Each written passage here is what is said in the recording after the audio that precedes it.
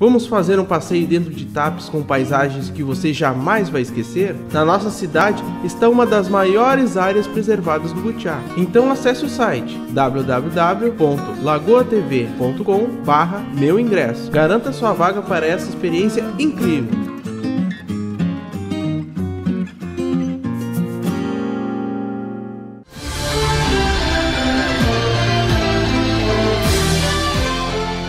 Foi prorrogado até o dia 15 de abril o período de solicitação de isenção da taxa de inscrição para o Exame Nacional do Ensino Médio. Para solicitar a isenção, acesse a página do participante no site do Enem. Clique em Isenção Enem 2018. Informe CPF e data de nascimento.